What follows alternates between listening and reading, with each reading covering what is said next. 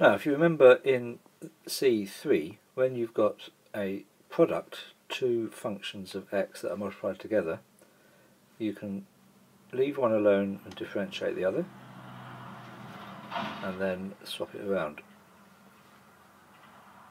So that's the product rule for differentiation. Let's now put this term on the left hand side. So I'm going to get d by dx of uv minus v du dx equals u dv dx. I'm just going to write that over here and this right over on the right hand side. So u dv dx equals d by dx of uv minus v du dx. Now we're going to integrate each term separately. So u dv dx is d by dx of uv integrated minus v du dx. And let's look at this term here. This says take uv, differentiate it, and then integrate it. So therefore we're going to end up with uv. So let's put this all together on the next slide. This bit is going to turn into just uv because this is saying differentiate uv and integrate it. And as they're inverse operations, we're going to end up with uv. So we end up with this formula here, which is the product rule for integration. What we're saying is we've got two things multiplied together.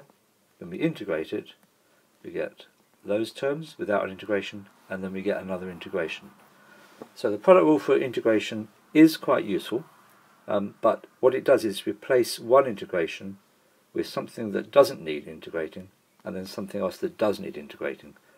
So if we can replace something that's hard to integrate with something that's easier to integrate, then this is a useful thing to do.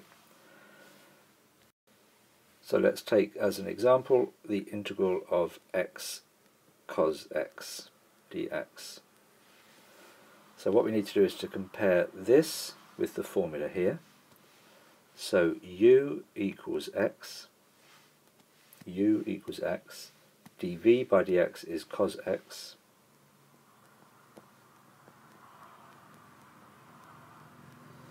So du by dx, if I differentiate x it's 1 and v equals sine x because if I integrate cos x I get sine x.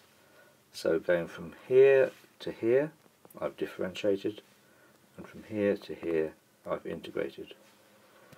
So the rule is that u dv dx equals uv so this uh, equals uv, so that's x sine x, minus v du dx. So v is sine x and du by dx is 1. So it's an integral of v sine x multiplied by 1 and then I've got to integrate it. So what's happening here, and this is our working over here, what's happening over here is we've replaced this integration with a bit that doesn't need integrating and something that does need integrating. Now if when we do this we end up with something that we still can't integrate, it's not especially helpful, but integrating sine x, that's fine.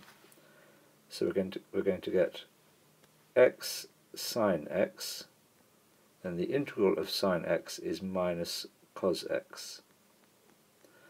So we've got two minuses, so it's x sine x plus cos x plus c.